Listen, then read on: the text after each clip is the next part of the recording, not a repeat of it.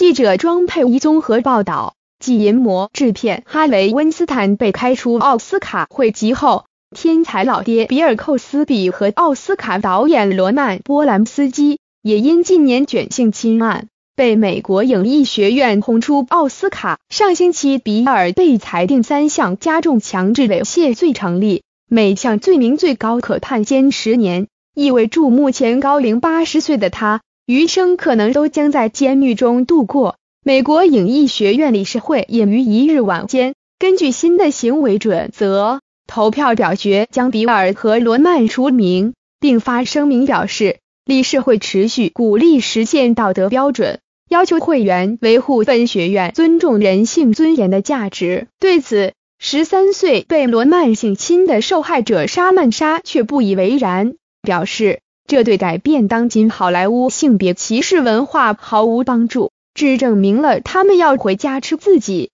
更痛批学会的决定丑陋又残忍，一切只是做做样子的公关手段。